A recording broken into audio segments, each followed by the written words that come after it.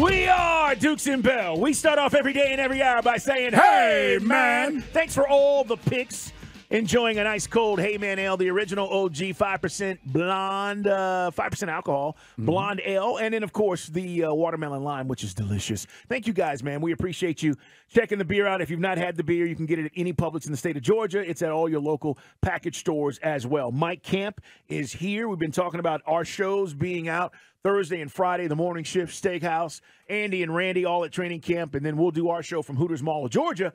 But we're going to be out there and teams making decisions today. Okay, and and I want to start with the Falcons because the few things that have happened today, um, one of them kind of interesting, and that is they re-signed MyCole Pruitt, Michael Pruitt, should I say, tight end. Last year, guys, he had four touchdowns, Right. and I think Mike, you add him to to, to Pitts and Jonnu Smith, and all of a sudden now it gives you more options potentially in the red zone. I, have to think that's the way they're thinking about this, right? Now, again, some of these things are just to have extra bodies. And again, this guy certainly you know, surprised a lot of folks. As Carl said, man, 16 receptions made it count with uh, four touchdowns. And again, there's a dude that, uh, if you remember, guys, scored a touchdown in the win against the 49ers, scored a touchdown in the uh, last game of the season that we won against Tampa Bay. So caught one one of those from Mariota, got one from uh, from uh, Desmond Ridder.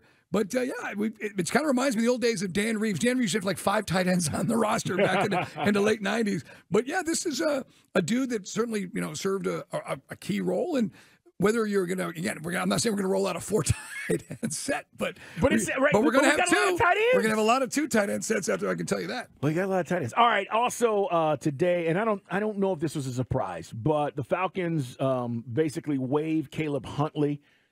Played basically one season, guys. Uh, He ran hard, but this was a phys- failed physical designation, so they had to make a decision on him. And Mike, we kept hearing, you know, maybe he'll be back, maybe he'll be back, but uh, they have waived him. So that is news today from the Falcons. And then uh, Locust Grove kid, by the way, as you Yeah. said, when he got a chance to play, he was like a bowling ball out there. But unfortunately, this and this may be one of what did we say earlier? One of those like sort of like uh, injury designation type things where you get a you know they'll, they'll he'll get paid, but it's unfortunate you don't make obviously the, the full time full check. And then uh, non-football injury list, Calais Campbell, and I'm going to let you hear Calais here in a second.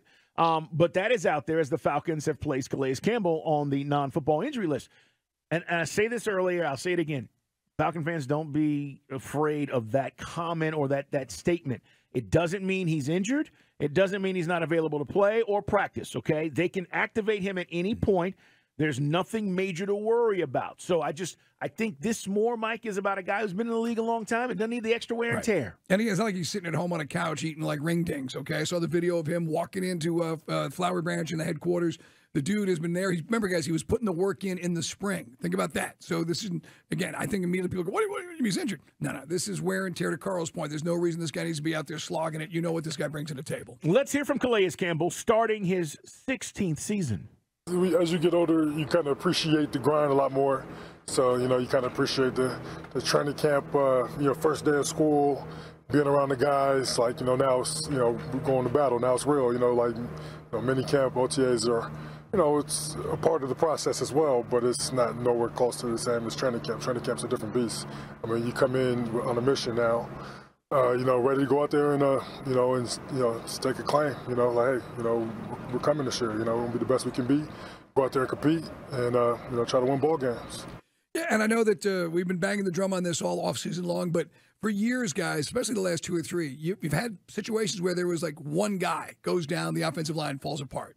You know, in, in the defense, you know, you're bringing in guys, as we said, oh, who's this guy we just signed? It's like, he's been- he's been on four teams in three years, practice squad on three of them. So it's not the case. This year, you've got quality. Now, We've got depth. Some of these guys are short term fixes, but you've got, regardless, you've got more depth and more numbers in the key positions in the trenches. Um, yeah, and and I think also uh, a pleasant surprise. We hadn't talked a lot about him, but he knows how to play, and they were committed to him playing here. And then he said, "I don't want to play," and he wanted to take it some time off. Eddie Goldman. Yep. Eddie Goldman's a guy that, again, we hadn't talked a whole lot about, but guys, I'm telling you, he may be a pleasant surprise for this team. He is reported to camp. He's today. only 29. I know, Mike. He- He's in his prime. This is the thing. Like, he's not an old guy that can't play anymore.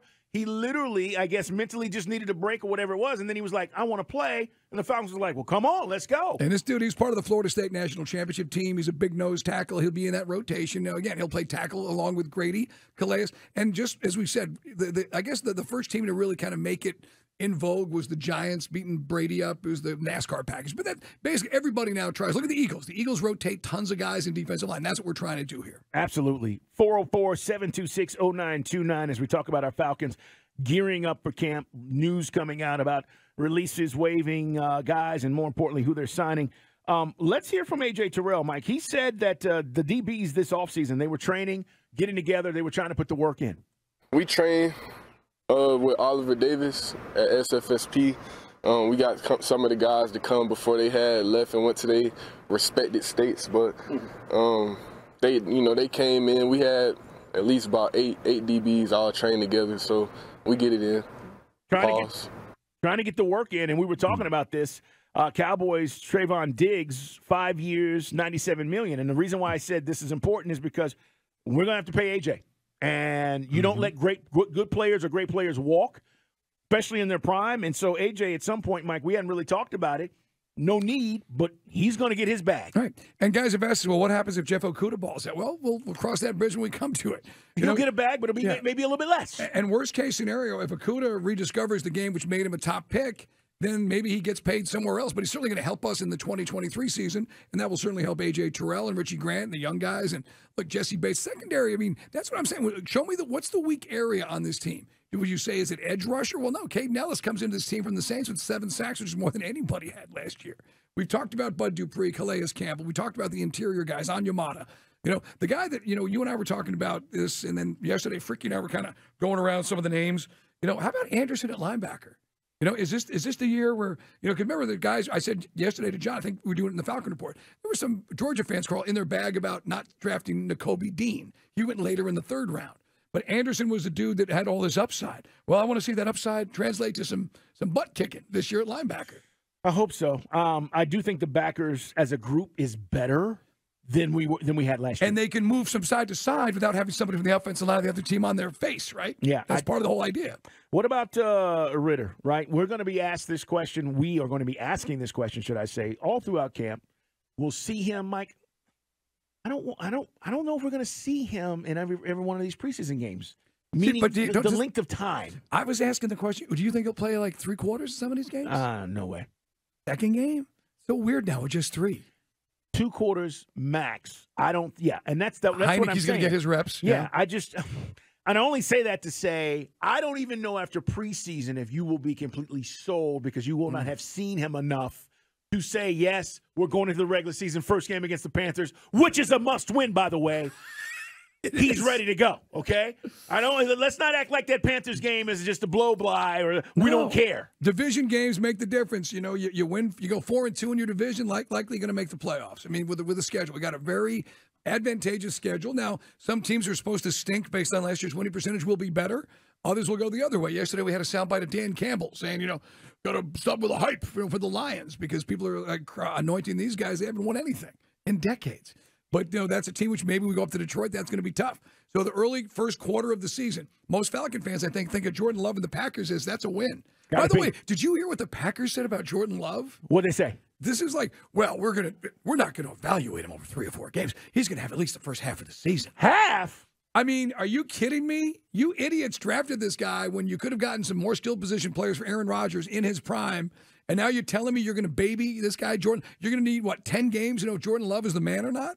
I mean, Chris, am I wrong here? I read that. I read that that article today, and the soundbite didn't make any sense. No, yeah, the president of the team, Mark Murphy, came out and said that he will have at least half of the season half? to figure out the NFL before the team quote evaluates him. I don't need half a season to know if a guy can play or not. But we need. Here's the thing: got to be more than four games. I still don't know what I got with Desmond Ridder.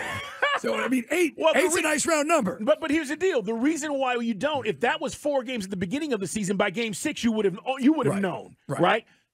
And, and, let's be honest, the, the four games that Ridder played, I, I I can buy into that. It mm wasn't like he was terrible and turned the ball over, uh, uh, you know, eight times in four games. It's Dukes and Bell at Sports Radio 92.9 The Game. Let's hear from Chris Lindstrom talking about Ridder. This is what we were talking about, about uh, the preseason playing and how much, much how, how much time he'll actually get.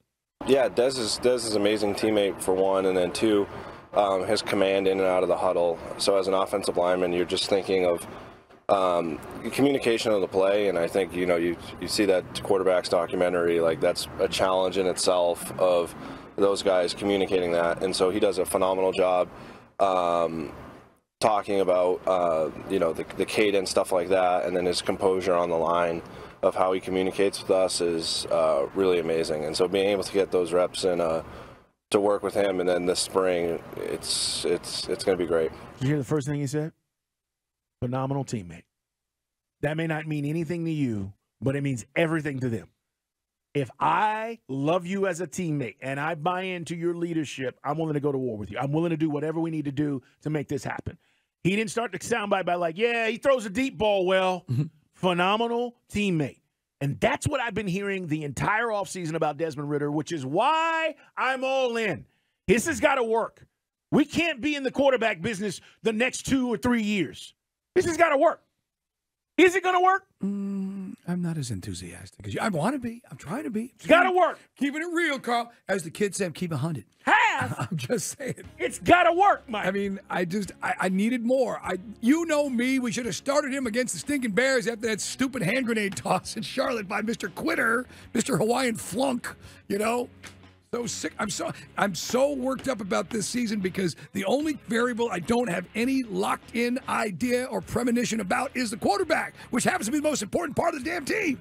I know what I'm going to get from the D line. I know what I'm going to get from the corners. I know what I'm going to get from our running backs. I don't know what I'm going to get from the QB. I'm all in. This has got to work. I mean, hell, if it, It- don't, you know what this is? Yeah. This is like when you go to counseling, and after counseling, you're like, this has got to work. gotta- well, you know You what? can't go through all that we've been through for the last five years Hey. and this not work. Get the left-hander warmed up in the bullpen. On the right-hander, you got- you got to go to a Heine. Oh, Grab me a Heineken. Listen, if we go to Heinicke, this thing is going wrong. Uh, maybe not. Maybe maybe Heineken's got the magic. We I don't know. Trey know Lance, what? anyone? You He's know- apparently hey, available. Stop it. Stop it right Trey now. Lance, I don't know what he is. Nobody knows what he is. I don't want Heinicke, and I don't want Lance. We need Ridder to kick ass. That's what we need.